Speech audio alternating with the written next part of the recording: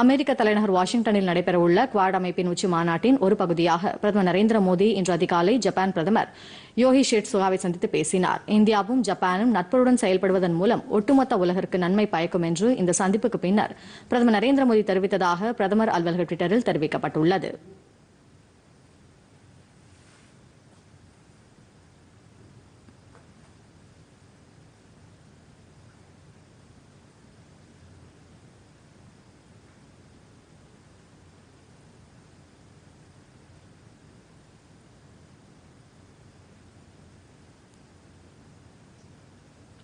இந்தியாவின் மிகவும் மதிப்பு வாய்ந்த நட்பு நாடாக ஜப்பான் திகழ்வதாகவும் ஜப்பான் பிரதமருடன் நடத்திய பேச்சுக்கள் சிறப்பாக இருந்ததாகவும் பல்வேறு துறைகளில் இரு நாடுகளுக்கு இடையிலான ஒத்துழைப்பை மேலும் விரிவுபடுத்துவது குறித்து விவாதித்ததாகவும் பிரதமர் மோடி தெரிவித்துள்ளார்.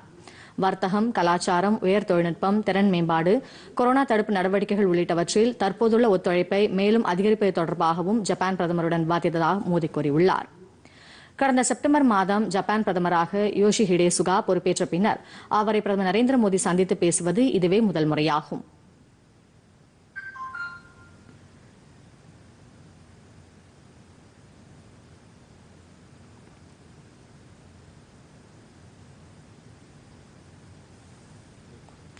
ஆஸ்திரேலிய பிரதமர் ஸ்காட் மோரிசனையும் பிரதமர் நரேந்திர மோடி வாஷிங்டனில் இன்று காலை சந்தித்து பேசினார்.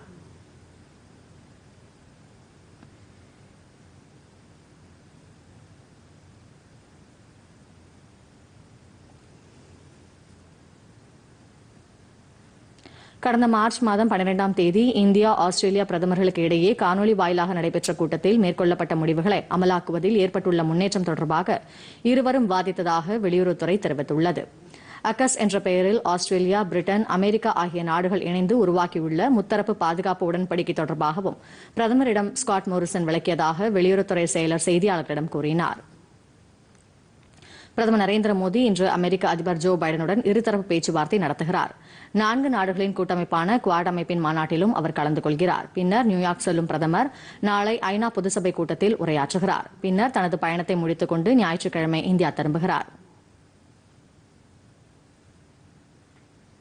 முன்னதாக நேற்று வாஷிங்டனில் குவால்காம் நிறுவனத்தின் தலைமை செயல் அதிகாரி கிறிஸ்டியானோ இ. அமோன் அடோப் நிறுவன தலைவர் சாந்தனு நாராயண் ஜெனரல் அட்டாமிக் நிறுவன தலைவர் வேக்கால் ஃபர்ஸ்ட் சோலார் நிறுவனத்தின் தலைவர் மார்க் விட்மர் பிளாக்ஸ்டோன் நிறுவனத்தின் தலைமை செயல் அதிகாரி ஸ்டீஃபன் எஸ் குவாஸ்மன் ஆகியோரை பிரதமர் நரேந்திர மோடி சந்தித்தார்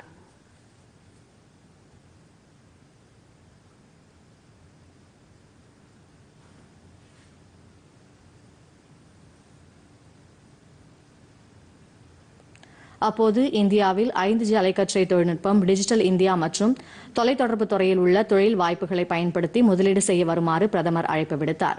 இந்தியாவில் இணையம் சார்ந்த ஸ்மார்ட் கல்வி ஒவ்வொரு குழந்தைக்கும் அவசியமாக உள்ளது என்றும் இன்றைய கொரோனா காலகட்டத்தில் டிஜிட்டல் வழி கல்வி அவசியமாக ஒன்றாகிவிட்டது என்றும் கூறினார். இந்த டிஜிட்டல் கல்வி திட்டம் காலூன்றிவிட்டதால் இந்தியாவில் இதனை அடுத்த கட்டத்திற்கு கொண்டு செல்வது அவசியம் என்றும் பிரதமர் குறிப்பிட்டார்.